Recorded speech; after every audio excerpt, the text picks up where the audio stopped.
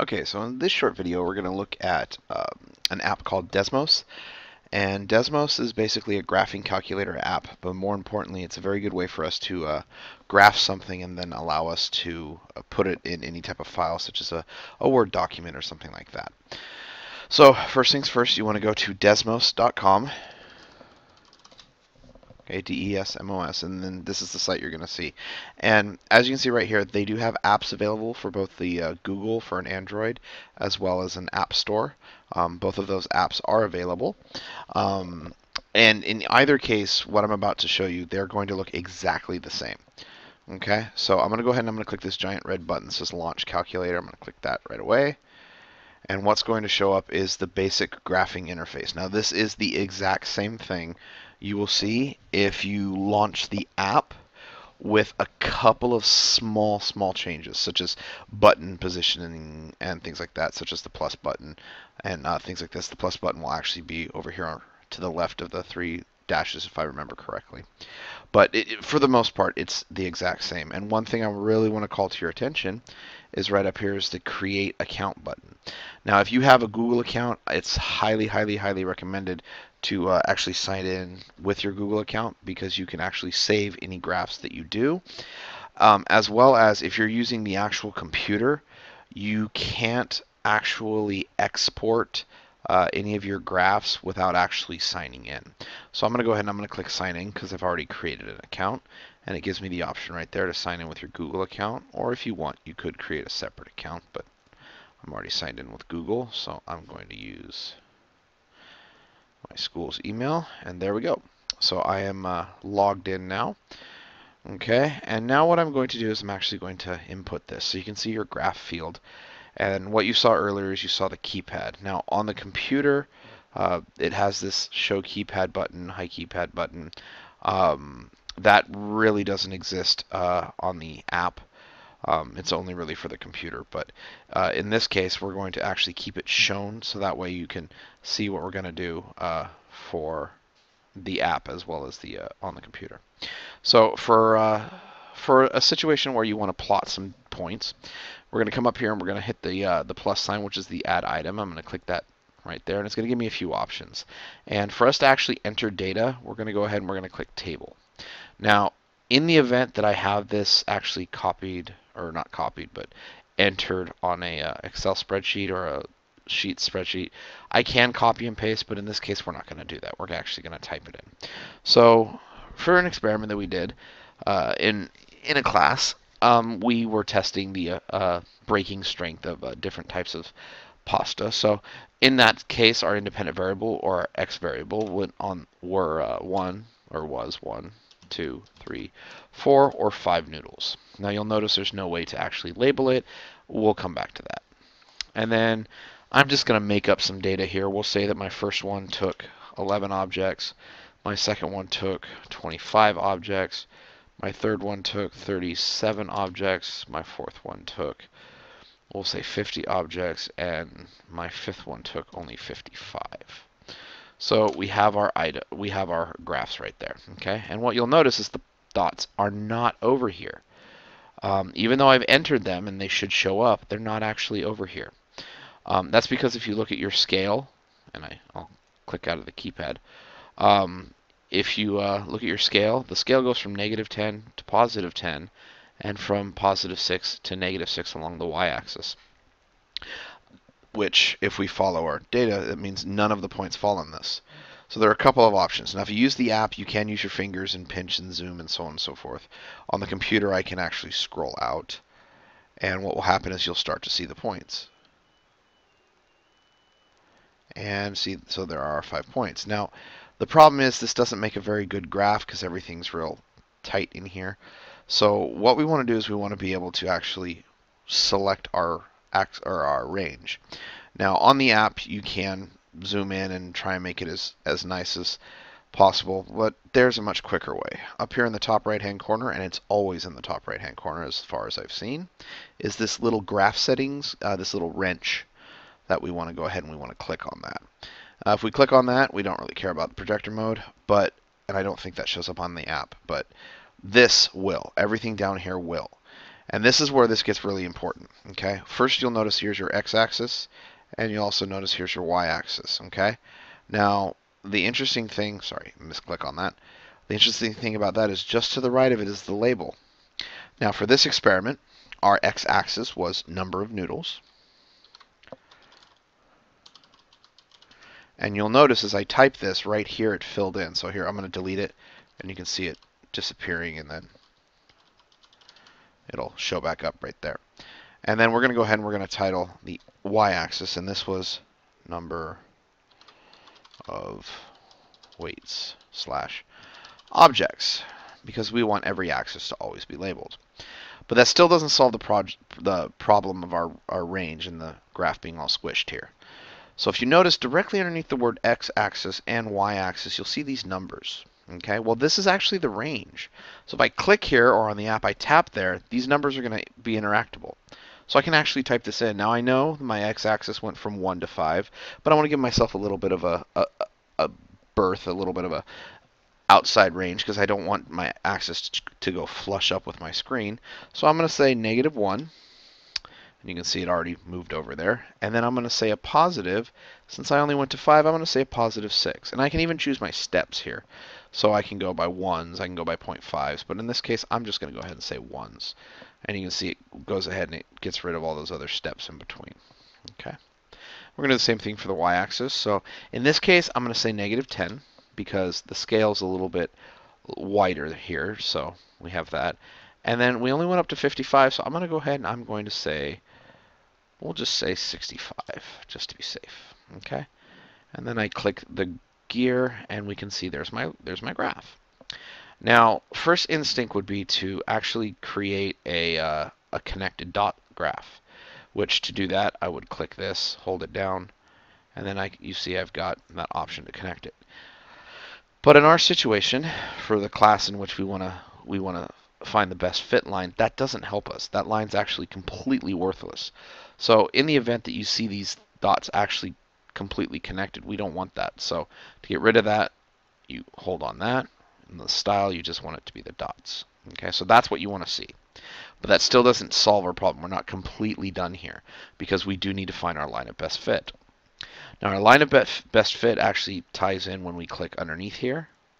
So we click there and it's going to let me type things in there.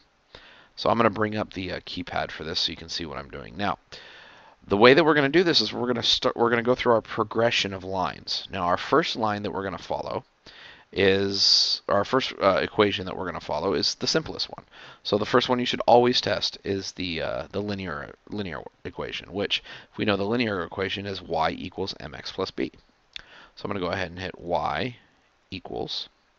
But you'll notice there's no letters here. Well, in the bottom left, you're going to have ABC. Okay, and then this will bring up the rest of the letters. So y equals mx. Now, before I type this, I want you to watch this. Okay, this right here or I'm sorry, not yet, mx plus b.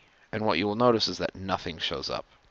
The reason is, is because right here, see how it says y1? Well, I have to assign these value, values to this uh, data.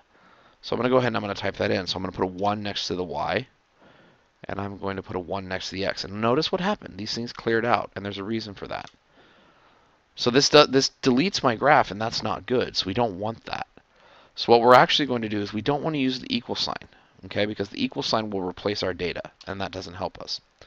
So instead, if we go to the go from the numbers to the letters area, there's this little tilde, this little squiggly line. If we click that, it actually assigns the line, and what you'll notice is it follows that and it finds the best fit line. Now, you can tell this is best fit because most of the dots are close to it. They're not perfect, but they are fairly close. And no dot is increasing in its uh, distance from the line. It's just basically kind of scattered around. And this makes sense for experimental values. You rarely will have all of the uh, your data points dead on that line because uh, you're just going to have experimental error that's going to potentially change your data. So now that we have our line, we've got a few things that we can do. First off, this line has a slope, and this program is very nice it actually gives me the slope here, and we can see that our slope is about 11.3. In addition to that, it also gives us our b, our y-intercept, which is important when we uh, try to plug in the equation. Okay, so now that we've got our graph and we have these numbers, let's go ahead and let's. How are we going to actually export this? Now, on a tablet or any other type of uh, mobile device, what you're going to have to do, because as of as of September 15th, uh, 2015, when this video was recorded, there was no way of exporting uh, the graph. So what you're going to have to do is you're going to have to just take a screenshot, which is simple enough. Um, Android, you uh, there are different variations, but um, for the tablets, or for some tablets, you hold the down volume button and the power button, or excuse me, the lock button all at the same time. You hold them for about two seconds. It'll snap a screenshot. Uh, some phones, you hold your switch app button for uh, a few seconds, and um, and then on iPhones or any iOS device, uh, you hold your lock button and your home button, and it'll take a, a, screenshot of what you have. So that you may have to check into your uh, your particular device to figure that out. But if you're on the computer, you're going to come up here to where we originally clicked sign in and then this box right here this little share box is kind of the default share box there. Is that little arrow going out. And a box in the center. I'm going to click that and you have a few options. And in this case I'm just going to go ahead and click image and it's going to bring up an image as well as a link to it. And so now I have this picture that I can either right click and copy or I can save and insert and so on and so forth. So in this particular case we're going to go ahead and we're going to save image because that's going to be the most important one. And I'm going to go ahead and I'm going to save this right here as our graph. And I'm going to go ahead and save it. So now that that's been saved, we can go back to the document. So to go to the document, what we do is we take this, we uh, just switch over to the document. Now, if I want to insert it, We've got a couple of options. Now, obviously, this is the web-based view, so there's a lot more options here than it is if you were in the app. So you can access this on mobile devices. You just go in through your browser. But in the event of you using a, um, a mobile device, an app, what you'll see is you'll see a plus sign up at the top. Um, the location will vary uh, depending on what what type of device you're using. But you'll usually see a plus sign or three little lines that kind of look like this blue in the top. And what you will do is you'll tap on that and it will give you an option to insert an image, at which point you can insert the image. Um, if not on a computer, all we're going to do is we're going to click insert, we're going to click image, and actually let's go to the right spot because our results is right here, and that's where we want to insert our graph. So we'll go to the next line, we'll insert an image, and I'm going to go ahead and drag and drop that.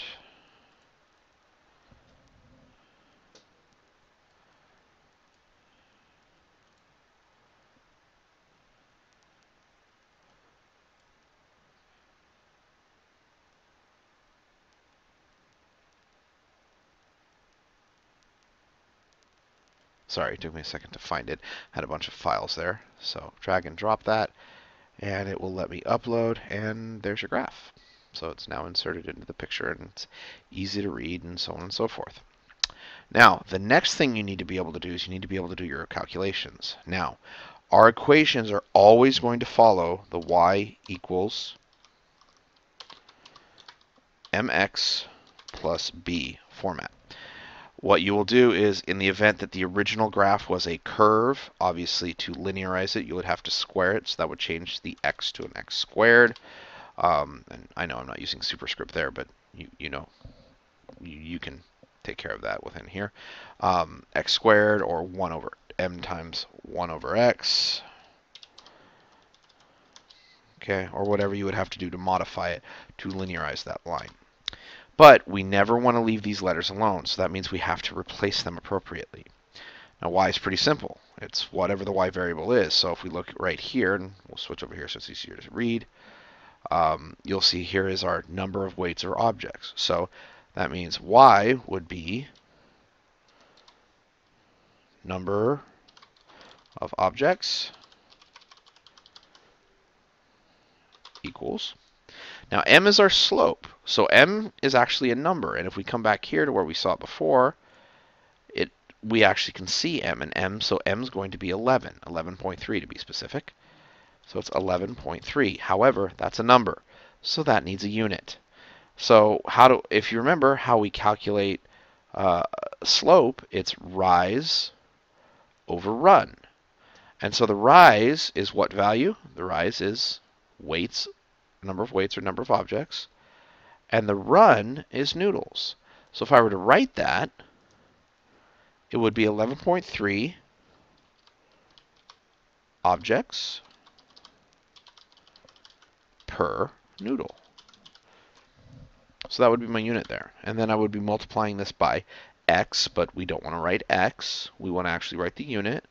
Let's get rid of that graph. We don't need it. And our x is going to be number of noodles. So times, and we'll use a star here.